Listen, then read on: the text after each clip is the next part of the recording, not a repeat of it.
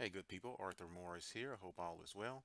Uh, in this video we are going to look at dividing a polynomial by a monomial uh, univariate. So to divide a polynomial by a monomial we quite simply need to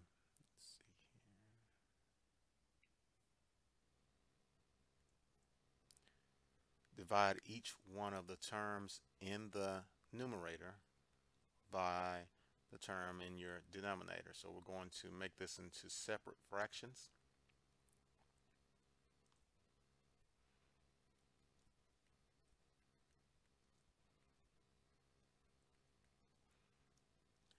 And then we're going to divide each one separately.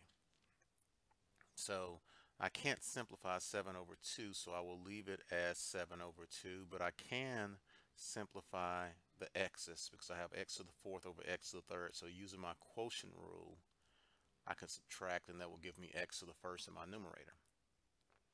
All right, the second fraction, 8 divided by 2 is 4. And then x to the third over x to the third, anything, um, if I use the quotient rule there, that gives me x to the 0. So they just cancel each other out. So it could be written as this, or more than likely you will see it written as 7 over 2 times x plus 4. Either answer is okay. Alrighty, let's look at another one.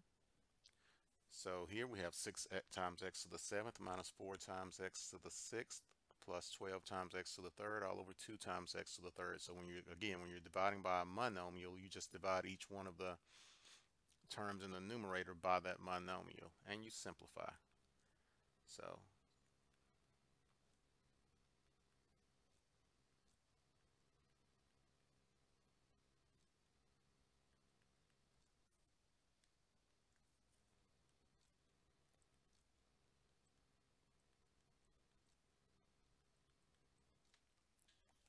So you separate the fraction, break it up into three separate fractions like there, and then you, like that, and then you just simplify each fraction. So in the first one, uh, 6 divided by 2 is 3. Use the quotient rule, x to the fourth. Second fraction, 4 divided by 2 is 2. Again, use the quotient rule, x to the third. And then the third fraction, the x to the thirds cancel each other out, and 12 divided by 2 is 6. And that's how you would divide a polynomial by a monomial. Alrighty, good people. I hope you found this video to be helpful, and I will see you on the next one. Thank you.